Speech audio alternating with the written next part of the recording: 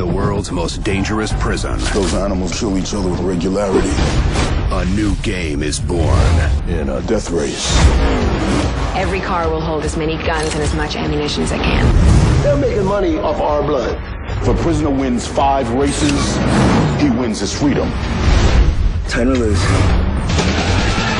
From Universal Pictures and the filmmakers who brought you Resident Evil and Death Race comes an all-new movie of how it all began.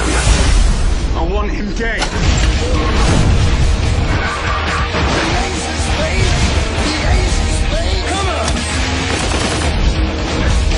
You kill him. I kill you.